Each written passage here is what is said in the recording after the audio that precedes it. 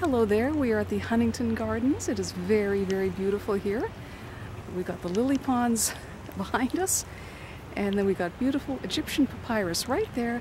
this is what the Egyptians used to make their paper, to eat, to make reed mats out of, and boats and baskets. So it was a wonderful plant that was extremely useful to the ancient Egyptians.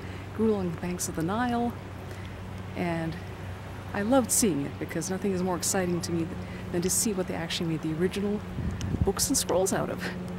They would take the papyrus, they dry it, they beat it and kind of interlock it and make rolls of papyrus um, paper, and that's what they would write on and make art on as well. Hello there, these are beautiful Egyptian papyrus. I was very excited when I first saw these, when I first came here a couple years ago. Hello. Lovely Egyptian papyrus.